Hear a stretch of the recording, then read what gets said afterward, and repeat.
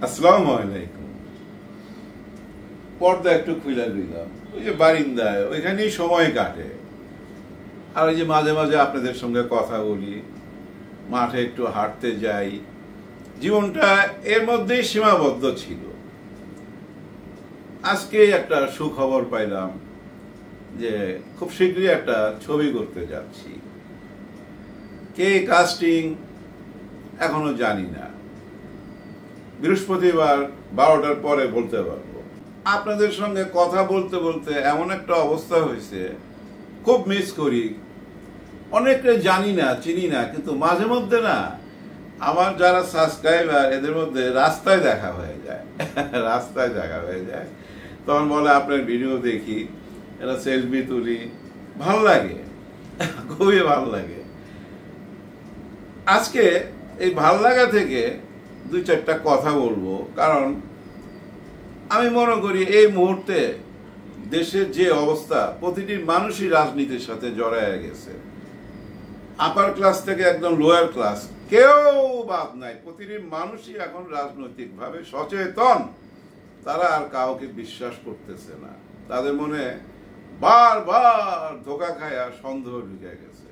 আর এই বারবার ধোকা খাওয়াটা কেমন ছিল, আমার নিজের চোখেও দেখা, কিছু আলাপ করব আপনাদের সঙ্গে। এই যে হাসিনা সরকার যে গেলেন পাঁচ তারিখে এমন ভাবে যাবে, ওনারা কিন্তু পৌনে এক ঘণ্টা আগেও জানতেন না, যার জন্য অনেকেই পলাইতে পারে নাই।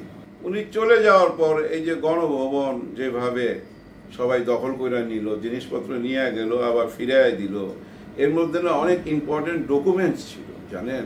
অনেক। মনে করেন যে ওনার টেবিলে প্রতিদিন গোয়েন্দা বিভাগ যে খোঁজ খবর দিত, বিশেষ করে এই যে জিয়াউল আহসান ওনার একটা ফাইল যাইতো, ওই ফাইলের মধ্যে লেখা থাকতো, কে কার সঙ্গে কথা বলতেছে। হ্যাঁ এই লুটপাটের মধ্যে এই দলিলও লুটপাট হয়ে গেছে। এটা এখন সোশ্যাল মিডিয়াতে ঘুরে বেড়াইতেছে। এখানে দেখেন, এই যে পলক সাহেব আমাদেরকে ধোকা দিল, বলল যে আগুন দিয়ে পড়ায় দিছে, তাই ইন্টারনেট বন্ধ হয়ে গেছে। অথচ উনি ওইখানে টেলিফোনে কথা বলতেছেন মোজাম্মেল সাহেবের সঙ্গে, আর মোজাম্মেল সাহেব হইল শেখ হাসিনার পার্সোনাল সেক্রেটারি পিএ হবে। এরা দুইজন মানে শেখ হাসিনার পিএ কার সঙ্গে কথা বলে, এই পলকের সঙ্গে কথা বলতেছে, সে কথা কি কি হয়েছে তার লিখিত। শেখ হাসিনার কাছে দেওয়া এবং প্রতিদিন এমনও সংলাপ দেওয়া আছে মানে টেলিফোনের কথা মানে কোন ছাত্র নেতা ওই যে মধুর ক্যান্টিনের কোন বেয়ারার সাথে বা মালিকের সাথে কথা বলতেছে। মানে যেই কথা বলতেছে, তারটাই তারা শুনত এবং ওনার ইশারায় ধৈরা নিয়ে ওই যে আয়না ঘর বা কোনো সাজা ঘর বা মামলায়, জেলখানায় পাঠায় দিত। এইসব দলিল দলিলপত্রগুলা সব ছিন্ন ভিন্ন হয়ে গেছে। কি করে কি যে হবে জানি না। যাই হোক, আমি যেটা বলতে চাচ্ছিলাম যে উনি উনি এক ঘণ্টা আগেও জানতেন না। কেন জানতেন না? ওনার তো ছিল বিরাট একটা গোয়েন্দা সংস্থা, নিজের এবং ভারতের র। ওনারা কেন জানলেন না? আসলে জানা যায় না। ছাত্র আন্দোলনটা এমন এইটা ভাই আগের দিন বোঝা যায় না। যেমন ওনাদের প্রোগ্রাম ছিল ঢাকায় আসার ছয় তারিখে। ওনারা ঠিকই বুঝা ফেলাইছেন যে আমাদের ছয় তারিখে গেলে লেট হয়ে যাবে। বারো ঘণ্টা লেট হয়ে যাবে। ওনারা একদিন আগাই নিয়ে আসছেন, পাঁচ তারিখে। পাঁচ তারিখেই রওনা দিয়ে দিচ্ছেন। রাত্রের মধ্যেই রওনা দিয়ে দিচ্ছেন। আর এখানে এসে বলতেছিল বারবার যার সময় নাই, গুছান গুছান, চলেন। পাঠাই দিছে নিরাপত্তা জায়গায় ভারতে। কিন্তু এই যে কান কথা শুই না, এই যে টেলিফোনে মেছে গোপন কথা শুই না, কি করতে পারল? কিছুই করতে পারল না। ওনার গোয়েন্দা বিভাগ, ওনার র, কেউ বুঝাইতেই পারল না যে ছাত্র আন্দোলনটা একটা ছোট্ট ব্যাপার। ওনারা চাকরি চাইতেছেন, আর কিচ্ছু না। ধন দৌলত টাকা পয়সা বাড়ি, গাড়ি, কিচ্ছু চাইতেছে না। যে মেধাভিত্তিক চাকরিটা দেন, আমাদের মেধা আছে, আমাদের চাকরি দেন। কোটায় যদি দখল করে রাখে, তিরিশ পার্সেন্ট পঁয়ত্রিশ পার্সেন্ট এগুলো তো লিখিত। গোপনে তো মনে করেন নাইনটি পার্সেন্ট কোটা। তো এই কোটাতে যদি নিজেদের লোক, যারা আমরা আওয়ামী লীগ করি, শুধু তাদেরই দিবেন, বাকিরা কই যাইব? এটা নিয়ে ছিল আন্দোলন, কিচ্ছুই না। ওনার সন্তানের চেয়েও বয়স কম এদের। এ পাঁচ ছজনকে ডাইকা, যে পাঁচ ছজনকে ডিবি অফিসে নেওয়া হয়েছিল। শুধু এই পাঁচ, ছজনকে ওনার লোক দিয়ে টেলিফোন দিত। এই মোজাম্মেল সাহেব যদি টেলিফোন দিত যে এখানে আসো, আসতো। কি দাবি? এই দাবি। ওকে, ডান, যাও। পরে দিচ্ছি। এই যে যেটা পরে আমাদের আইন আদালত কইরা দিল, ওইভাবে কইরা দিত, শেষ হয়ে যাইতো। বুঝেই নাই। কেন বুঝে নাই? অহংকারে। কারণ কি? অহংকারীকে, সীমা লঙ্ঘনকারীকে উপরওয়ালা বধির কইরা দেয় হ্যাঁ কানে শুনতে পায় না, মুখে বলতে পারে না, কিছু বুঝতে পারে না।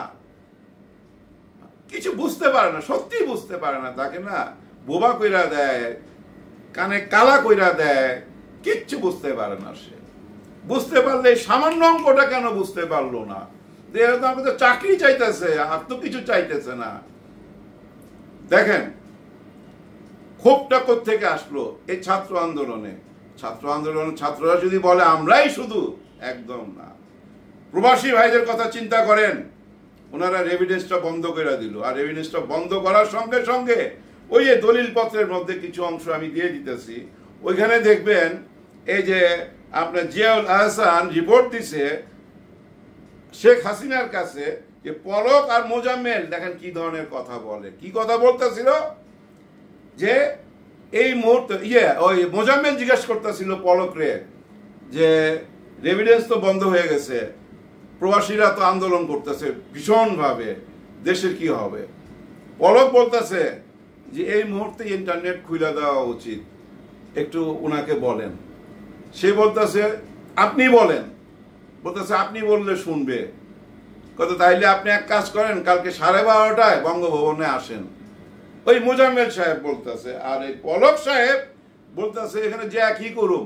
ওনার একক ডিসিশন নেই তো। মানে শেখ হাসিনার একার কথাই তো এনাফ ওখানে মিটিং এর দরকার নাই। উনি হয়তো ওকে করে দিলে আমি হয়তো সুইচটা অন করে দেব। অথচ এই পলক কিন্তু বলছে যে, সব পোড়ায় ফেলছে, আমরা কি করুম? ইন্টারনেট বন্ধ। এবং সে ওই যে ফেসবুককে ওই টিকটককে কত রকম হুমকি ধামকি দিল। সব আমাদেরকে চদু বানাইলো। ওই যে বনিয়ামিন বলে না চদু ওই চদু বানাইছে আমাদেরকে। তারপরে দেখেন ওনার যে কমিটি, এই যে যারা ওনার আশেপাশে ছিলেন, চার পাঁচজন ধরা পড়ছে, সবাই ধরা পড়বে। এদের কেমন বুদ্ধিহীন মানুষ। তোমার অপারেশন টেবিলে চলতেছে, ছাত্রদের অপারেশন এদেরকে আগে বাঁচাইতে হবে, এদের বুকে গুলি লাগছে। এদের বুকে গুলি লাগছে। আট থেকে নয়শো ডেথ পঞ্চাশ থেকে একশোর মতো অন্ধ, বারোশোর মতো চিকিৎসায় গত পরশুও একজন মারা গেছে। দুজনের লাশ দেখলাম, এখনও দুইটা বাচ্চার লাশ কেউ শনাক্ত করতে আসে নাই। কত যে লাশ, কত যে মৃত্যুর সংখ্যা কেউ জানে না। কিন্তু সেই সব আলাপ নাই। আলাপ কি? ওই যে ইন্টারনেট বন্ধ করে রাখতে হবে। কারণ উনি কিন্তু পারমিশন দেয় না ইন্টারনেট খোলার।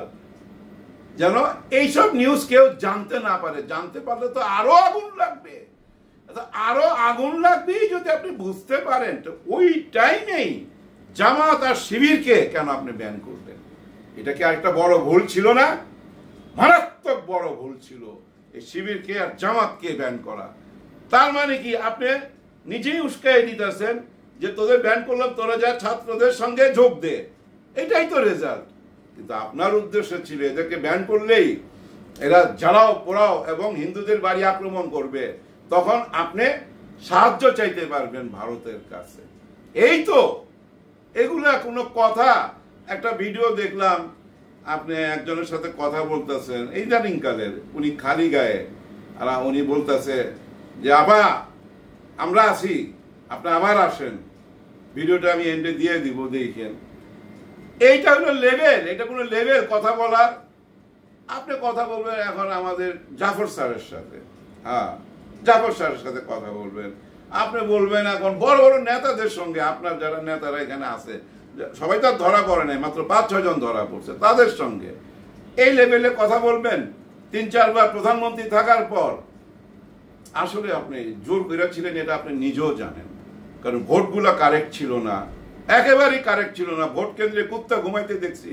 কিন্তু আপনি বলছেন ভোট হয়েছে যে মানুষটি বলছিল চার পার্সেন্ট ভোটকে চল্লিশ পার্সেন্ট বানাইছিল, ওই মানুষটা, ওই যে কমিশনার, নির্বাচন কমিশনার ওনার কি বিচার হবে আমি জানি না। উপরওয়ালার নিয়তি কি? মাত্র দশ দিন আগে আর পিছে। দশ দিন আগে আপনি গেছেন, দশ দিন পরে আপনার বাবা যাবে। মানে আপনি পাঁচই আগস্টে বিদায় নিলেন দুই হাজার চব্বিশে। আর দুই হাজার পঁচাত্তরে,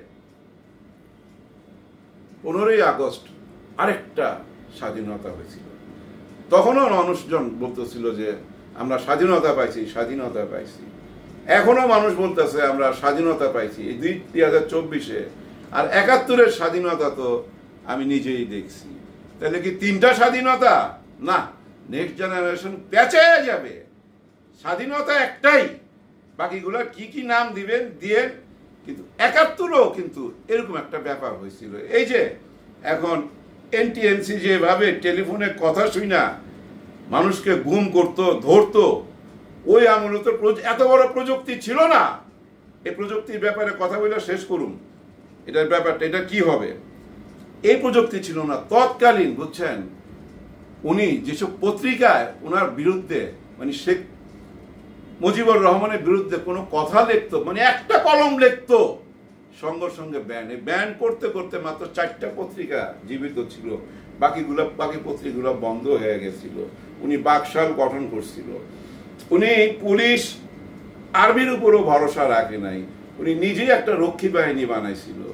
কোনো নির্বাচন নির্বাচন কিছু না, উনি যা বলবে তাই হবে। এবং উনি ডাইরেক্ট বইলা নিছিলেন। যে আমি তিন বছর কিছুই দিতে পারুম না। দেশ গড়ার কাজে লাইগা গেলাম। সবাই তা বিশ্বাসও করছিল। এরপরে চুয়াত্তরে একটা দুর্ভিক্ষ হয়ে গেল, ভাই। সেই দুর্ভিক্ষ আমি দেখছি। আমার মনে আছে, ঘরে সেদিন পালং শাক ছিল, চাউল ছিল, কিন্তু ওই যে কেরাসিনের চুলা জ্বালাবার কেরাসিন ছিল না। কেরাসিনের লাইনে দাঁড়ায় ছিলাম, দেড়টার সময় এক বোতল কেরাসিন পাইছি। তারপরে নিয়ে আইছি। ভাইবেন, কিন্তু তখন কিন্তু আমি ছাত্র দলের ওই যে ছাত্রলীগের পোলাপানে পিছিয়ে পিছিয়ে হাঁটি। ক্ষমতা দেখায় দুই আড়াই ঘণ্টা লাগছে, আর যাদের ক্ষমতা নাই, তারা সারাদিন যাইতো কেরাসিনের লাইনে এক বোতল কেরাসিনের জন্য। পরে ওই যে পালং শাকটা আছে না? হ্যাঁ পালং শাকই ছিল বোধ হয় আর ওই ভাত। পালং শাক তাও খালি নুন আর পালং শাক। তেল ছিল না, ওই যে খাবার তেল ছিল না। আর দুর্ভিক্ষেরও ভাই। মনে কর ফার্ম গেটে একজনে বমি করবে, আরেকজন দাঁড়ায় এসে খাবে। এরকম অবস্থা। রংপুরে একটা জায়গায় একটা মেয়ে জাল পেঁচায় আসছিল এটা তো সারা বিশ্বে ভাইরাল হয়েছে। কাপড় নাই কাপড় নাই, গায়ে জাল পেঁচা নাই এমন দুর্ভিক্ষ। জনগণ মাইনা নিছে। যেহেতু বঙ্গবন্ধু বলছে, তিন বছর কিছু দিতে পারুম না। পেটে পাথর বান্ধা সবাই মাইনা নিছে। কিন্তু ওই টাইমে দুর্ভিক্ষের আগে বা পরের দিকে আমার মনে নাই। শেখ কামালের বিয়া হইল এই সেরাটন হোটেলই আমার যদ্দুর মনে হয়। আর তখন ফ্রান্স থেকে প্লেনে কইরা প্লেনে কইরা আসছে মুকুট। এই যে সুলতানার মানে শেখ কামালের বোর মানে বঙ্গবন্ধুর পুত্রবধূর। তাজ মাথার তাজ, ডায়মন্ডের। তখনই শুনছিলাম ডায়মন্ডের নাম। এই ডায়মন্ডের হার আসছিল এগুলা ভাবা যায়। এটা কিন্তু মানুষের মধ্যে অনেক বড় একটা রিয়াকশন আছে। যাই হোক, সবশেষে একটা কথাই বলি। ওই যে এনটিএনসি ওই প্রযুক্তি দিয়ে যে মানুষের কথা শুই না, মানুষকে গুম করা হইতো, মানুষের বিচার করা হইতো সাতজন পুলিশ অফিস- অফিসারকে খাইয়া দিছিল, জানেন? কেন? ওনারা নিজেরা নিজেরা একটা হোয়াটসঅ্যাপ গ্রুপ বানায় কথা বলতো, আর ওনারা বিএনপির প্রশংসা করতো। যে বিএনপির আমল ভালো ছিল। ওই জন্য সাতজনের চাকরিই নাই এই প্রযুক্তির মাধ্যমে। কিন্তু এই প্রযুক্তি তো এখনও আছে। তাহলে এই প্রযুক্তির কি হবে? বর্তমান সরকার কি এই প্রযুক্তি কাজে লাগাবে? এবং কীভাবে কাজে লাগাবে? সংবিধানে তো আছে। এটা বেআইনি। আপনি আমার প্রাইভেসি লঙ্ঘন করতে পারেন না। আমার প্রাইভেট কথা শুনতে পারেন না। আমার প্রেমিকার সাথে, বউর সাথে, ছেলের সাথে, বাবার সাথে, মার সাথে কি কথা বলুন এটা আপনি শুনবেন। এ আইন তো মাইনে নেওয়া যাবে না। তাহলে এই প্রযুক্তি কি এই সরকার রেখে দিবেন? বা আগামীতে যে সরকার আসবে নির্বাচনের মাধ্যমে, তারাও কি এই প্রযুক্তি ব্যবহার করবে? এটা বর্তমান, বর্তমানে এই যে উপদেষ্টা সরকারের কাছে জানতে চাই। এটার একটা মীমাংসা করে দেওয়া যাবেন। ডিজিটাল নিরাপত্তা আইন এখনও আছে। কিন্তু যেহেতু কথা বলতে পারতেছি সেহেতু আমি মনে করি এটা কার্যকর না। এটা স্বাধীনতা। এইটুক পরিবর্তন পাইছি। আরও পরিবর্তন চাই। সবার জন্য সবাই দোয়া করবেন। আল্লাহ হাফেজ। অনেক হামলা হয়েছে হিন্দুদের উপর হামলা হয়েছে। যাই ওরা অনেক আমাদের আওয়ামী লীগের লোকজন ওই হঠাৎ করে তো আপা আমরা তো বুঝতে পারি না আমাদের ঘর বাড়ি বিভিন্ন মসজিদ মাদ্রাসা অনেক কিছু ভাঙছে। যার ঘর বাড়ি মসজিদ মাদ্রাসা ভাঙছে প্রত্যেকে এটা একটা কমপ্লেন করবা। এবং সবাই একটা জিডি করে রাখবা। অনলাইনে জিডি করো বা রেজিস্ট্রেশন রেজিস্ট্রেশনের মাধ্যমে করো পোস্ট অফিসের মাধ্যমে যে যেটা জিডি করে অবশ্যই রাখবা। যাদের দেখো চিত্র তাদের এটা এটা করতে হবে। হ্যাঁ আপা। আর কারণ যদি এরপরে ক্ষতিপূরণ দিতে হয় সে তখন তো এই জিডির পেপার দেখেই তো কার কি ক্ষতি হয়েছে সেটা দিতে হবে। আর যদি মসজিদ পড়া থাকে তো মসজিদে যদি কাতি মাসে বলবা একটা জিডি করে রেখে দিচ্ছে। হ্যাঁ। আপা আপনার আমরা দেশে আনার জন্য আমাদের জীবনের দরকার হলে আমরা আরেকটা বার যুদ্ধ করব। আমরা আমি দেশে আসব আমি দেশে চলে আসব আমি দেশেই আছি দেশেই চলে আসব।